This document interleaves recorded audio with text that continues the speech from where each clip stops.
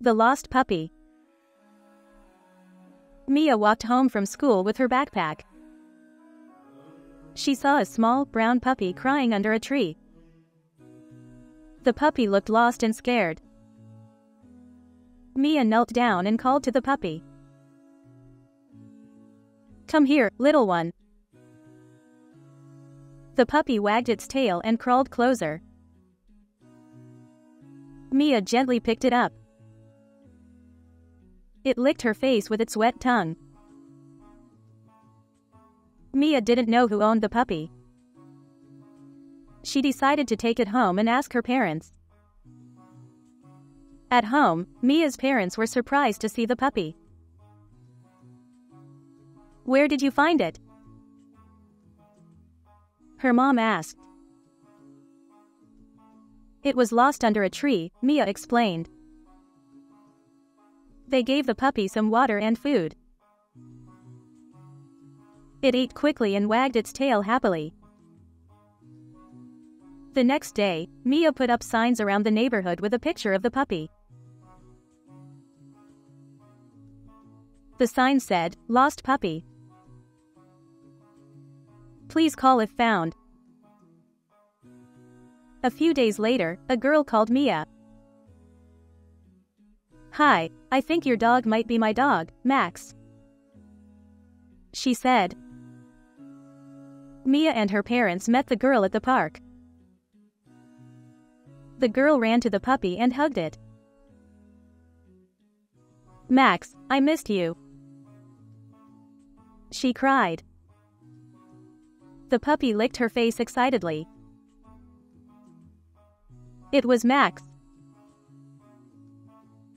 Mia was happy to reunite Max with his owner. Picnic in the park. The sun shone brightly in the blue sky. It was a perfect day for a picnic. Sarah packed a basket with sandwiches, fruits, and cookies. She also put a blanket and some juice boxes in the basket. She walked to the park with her brother, Ben. At the park, they found a nice spot under a big tree. Sarah spread the blanket on the grass. Ben helped her take out the food from the basket. They sat on the blanket and ate their lunch. They drank juice and talked about their day. They saw children playing on the swings and people walking their dogs. After lunch, they played catch with a frisbee.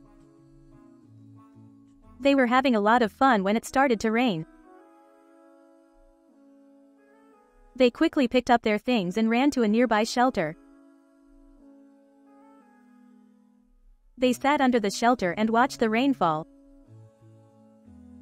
After the rain stopped, they walked home, a little wet but happy.